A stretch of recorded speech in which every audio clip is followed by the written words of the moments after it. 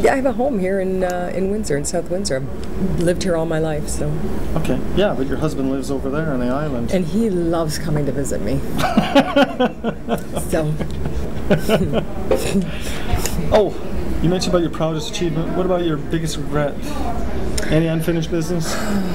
I'll probably have Or any business that you uh, now regret? I'll probably have more time to think about it. To be honest, uh, we've been working flat out. I have been working flat out. I don't feel uh, I have no regret that I didn't give it my all, um, whatever the issue was. Um, we managed hundreds of files, whether they were local files or provincial files.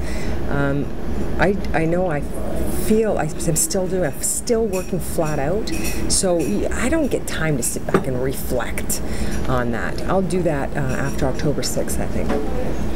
Okay. And what's your first thing going to be after October 6th? I don't know, but October 6th is my birthday, so I hope I have a birthday party. Because usually, you know, um, When's politics has really interfered with my personal life, like my whole Oh, life. really? Yeah, yeah. Like Ernie Eves' blackout was on my wedding weekend, you know, and um, anyway, yeah.